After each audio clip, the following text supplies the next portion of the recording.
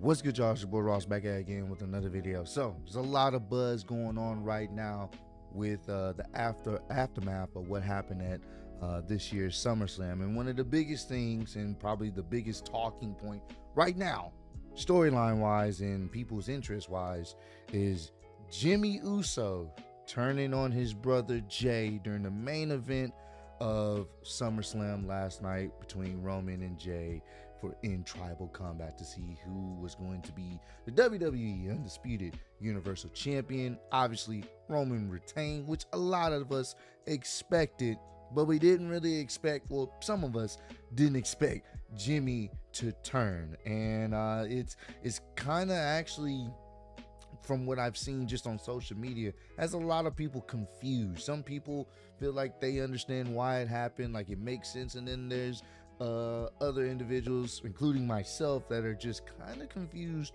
on what's going on here. So I want to show y'all this tweet real quick. I want to show y'all this tweet real quick. Let me do this. This is on my uh, Twitter. I saw this on my feed. So follow me on Twitter if you haven't already.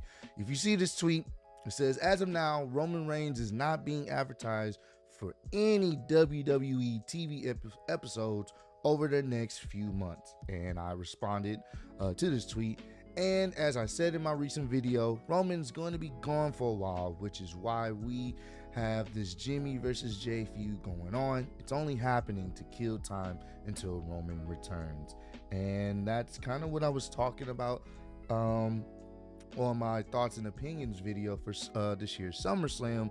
The rumors have been going on since earlier this year that after SummerSlam, Roman is going to be gone for a while and we probably won't see him back towards maybe towards close to the you know maybe end of the year or you know saying a few months after that uh, well a few months before the end of the year. I'm not sure when he's possibly going to return but he's going to be you know going to be gone for a while. So you can kind of tell how this feud has been you know i guess you can say picked up um because right now roman doesn't have no one to face.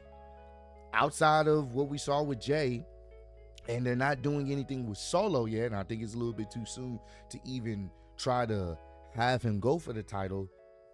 They don't have nobody else. They legitimately have nobody else. And this was always going to be my issue with this title reign this year because you have to stretch it out all the way to um to next year's WrestleMania. So how do you do that? Well, granted, they have been doing a good job with this whole bloodline fracturing and falling apart story, but now it's gotten to the point where for them, since Roman is, you know, taking a little bit of a break or whatnot, they're gonna go with this Jimmy and Jey as the main focus point right now. Because honestly, this it involves the bloodline, but now it's it's beef between them, and I, I just feel like Yes, they had been planting the seeds that maybe Jimmy would turn or whatnot, but I just think, me personally, I think it's kind of lazy uh, on the on the booking side of things because it's like you're only doing this because Roman is not doing anything for the next few months. So the only reason why we're getting this Jimmy versus Jey feud right now because they have nothing else that can fill that void. Now, granted, not saying that the feud can't be good. I, I think people have at some point wanted to see a Jimmy versus Jey, brother versus brother, a few WWE's done it plenty of times. But I think if they were going to do it, I would have preferred them to set this up for WrestleMania. This is a WrestleMania worthy feud. Imagine the story you can tell if they were able to set it up for WrestleMania. Last year's WrestleMania, you guys had the championships. Y'all was the longest reigning tag team champions of all time. You lost to Kevin Owens and Sami Zayn, and that's when things started to fall apart for you guys. You know, and now this year's WrestleMania, well, this upcoming year's WrestleMania, now you guys are feuding with each other. That's a that's an amazing you can that's an amazing story right there. You can build a great promo package off of that. Everything started to fall apart when they lost the titles. Now at this year's WrestleMania, they're fighting each other. You know, you could have told that story if you were to do it. Me personally, I don't think they needed to um they needed to, you know, split them up on on only because, you know, I just we've seen this story before with the you know, the tag team and they finally split up, or the brothers and one of the brothers turned on the other brother. It's it's an easy story to tell. I just don't think it was needed, at least right now. Um, I do think they still need some tag teams. Obviously, they've been uh, doing, you know, this has been all about the bloodline stuff. So they haven't really been focused on tag team uh, wrestling for the most part, like tag team gold.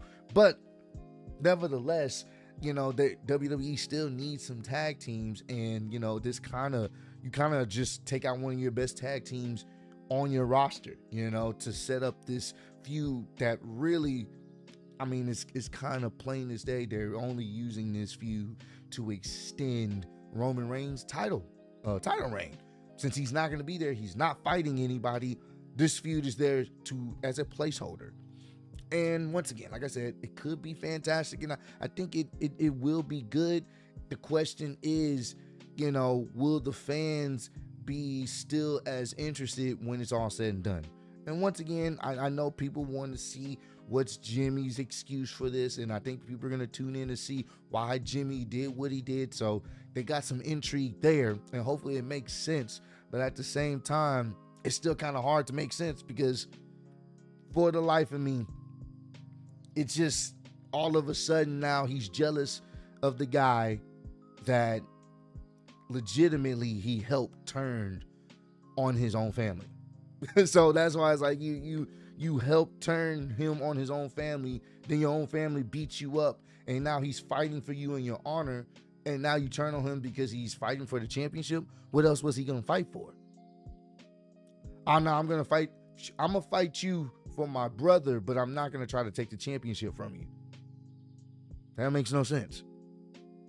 Like I said, they've been, yeah, you can say, oh, they've been teasing Jimmy being jealous, but it's like they could have did that at some other point. They because honestly, you could build that story off of Jey just being main event Jey. It's really took it's really taken off. Last night, Jey was the guy. He he he showed why he deserved to be in the main event last night. It was fantastic to see him main event with Roman Reigns at one of the biggest shows uh, for WWE at SummerSlam. So you could build that story without, you know, the implications of him trying to, you know, go for the title, you can build that up as Jey's getting all this attention and love while Jimmy's kind of sitting in the back seat. You could have Jimmy come back, still, you know, have love for his brother, all this other stuff. They do what they got to do without the bloodline or whatever the case may be. And then over time, you can see Jimmy's dissension because everyone's coming to Jey now. Everybody wants to talk to Jey now. You could have did that. But this just comes so abruptly after the guy's been beaten up and off TV for a few weeks, and now all of a sudden he got smoked with his bro. The only way for me that I think this feud can be salvaged or it could, you know, be enhanced if since they're going with the brother versus brother, they have to have their dad involved. And and Solo needs to be involved too. Obviously, Solo's gonna be there, so their dad needs to be involved in this. Rikishi now needs to be inserted in this feud. And what they could do if you have Rikishi inserted in this feud and he finally gets everybody together on one page, even Solo starts to realize what's going on. And then when Roman comes back or whatnot, he sees what Rikishi has done or whatever, he's not liking it. And maybe he he attacks Rikishi. Man, maybe Solo snaps then.